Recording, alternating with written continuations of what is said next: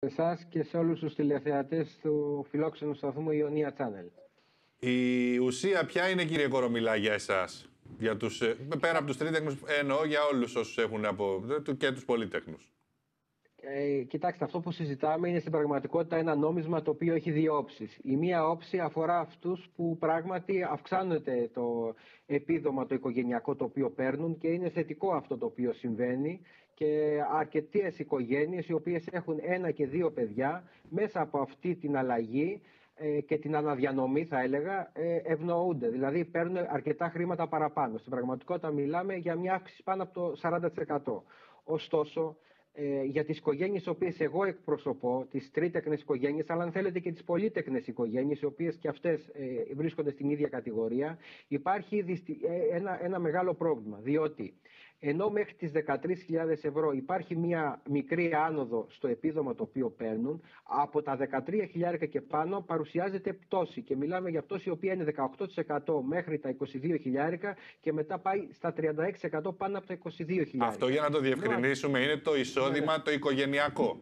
Το ναι. μεικτό, προσέξτε, το μιλάω μεικτό. πάντοτε για το μεικτό οικογενειακό τεκμαρτό εισόδημα. Δηλαδή, οτιδήποτε μπορεί να αθροίσει μία οικογένεια. Ωραία. Έτσι λοιπόν, στην πραγματικότητα, ε, όταν μας είπε η κυρία Φωτίου ότι μιλάει για 100.000 οικογένειες, οι 50.000 οικογένειες από τις πολίτεκνες φύγονται σε μια χώρα που το δημογραφικό κατά την άποψη όχι η δικιά μου, αλλά αν διαβάσετε το διεθνή τύπο και τον ε, αμερικάνικο τύπο, αναφέρεται στο τεράστιο δημογραφικό πρόβλημα της χώρας μας.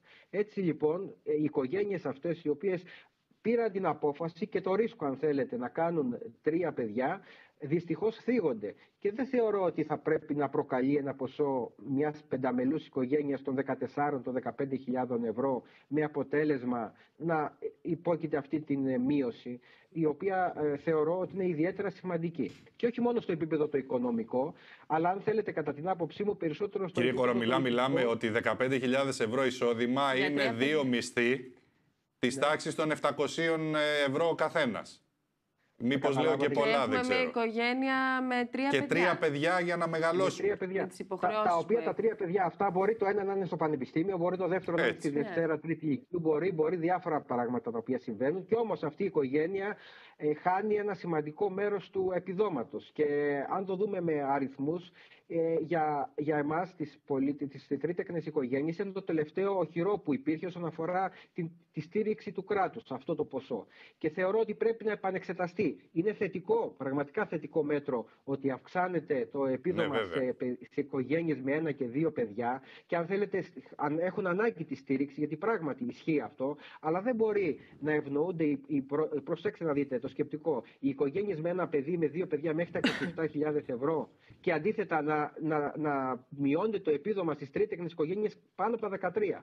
Νομίζω ότι εδώ έχει γίνει κάποιο λάθος στην αρχιτεκτονική αυτή και ε, πιστεύω ότι πρέπει να το επανεξετάσουν. Διότι ε, είναι οικογένειες οι οποίες, αν θέλετε, είναι στη μεσαία τάξη. Αν υπάρχει αυτή τη στιγμή μεσαία τάξη. Μεσαία τώρα, μες στην κρίση. Γιατί. Εντάξει, μεσαία δεν είναι ακριβώς. Είναι λίγο πιο κάτω από τη μεσαία. Μικρό μεσαία. Πιο κάτω, πολύ, πολύ σωστά, πιο κάτω από τη μεσαία. Και ε, θεωρώ ότι θίγονται, πραγματικά θίγονται και εδώ πρέπει να, να το δούμε. Και αν θέλετε, θα πρέπει να ξεχωρίσουμε τα επιδόματα αλληλεγγύης, τα οποία αφορούν πράγματι οικογένειες, οι οποίες έχουν οικονομικό πρόβλημα σοβαρό και εκεί πρέπει να υπάρξουν κάποιες πράγματι παρεμβάσεις. Οι οποίες παρεμβάσεις θα πρέπει να αφορούν και το επισητιστικό πρόγραμμα και διάφορες άλλες υποστηρικτικές δράσεις. Όμως το πολυτεχνικό επίδομα, αυτό που στην πραγματικότητα τώρα έχει γίνει το οικογενειακό επίδομα, έχει μια άλλη λογική. Έχει μια λογική ότι μια οικογένεια η οποία έχει τρία-τέσσερα παιδιά θα πρέπει το κράτος να δείξει στην πραγματικότητα τη στήριξή του και την υποστήριξη, όχι μόνο σας λέω την ηλικία, αλλά και την ηθική, ότι είμαστε σε αυτές τις οικογένειες, τις στηρίζουμε και μάλιστα σε αυτή την περίοδο όπου όπως καταλαβαίνετε αν θέλετε να μιλήσουμε και με αριθμούς κάθε χρόνο, κάθε χρόνο μειώνεται ο πληθυσμός της πατρίδας μας κατά 25.000 κατοίκους. Αν το βάλουμε κάθε δύο χρόνια χάνουμε μια πόλη σαν την Καλαμάτα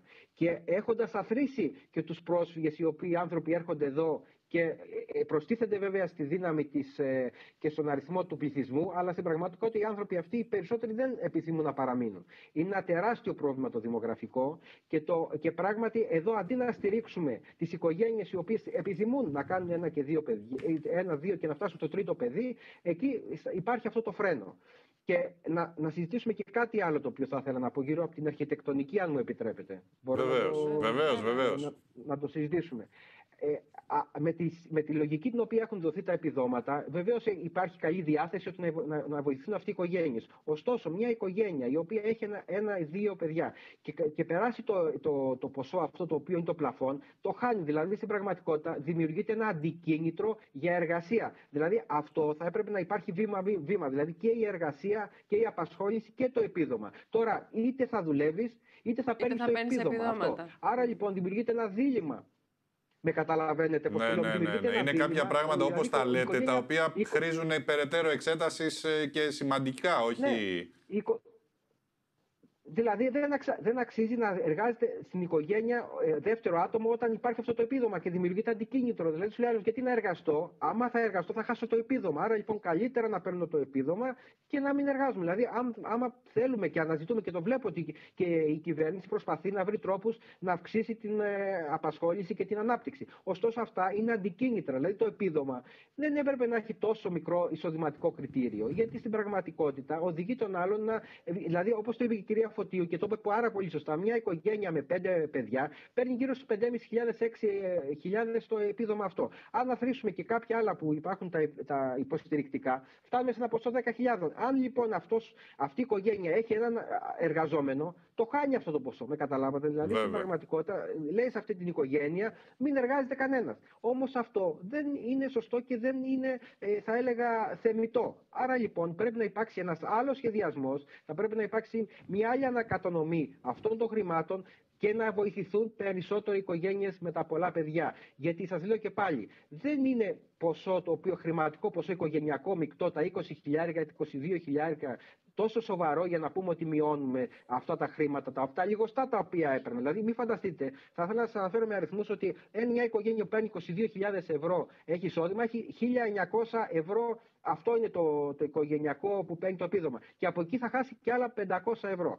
Θα έλεγα λοιπόν να το επανεξετάσουν. Και επειδή ε, ε πιστεύω ότι ε, έχουν όλη την καλή διάθεση, ε, θέλω να πιστεύω ότι θα βρεθεί μια λύση η οποία θα υπακούει όχι στη δική μας άποψη, στη λογική.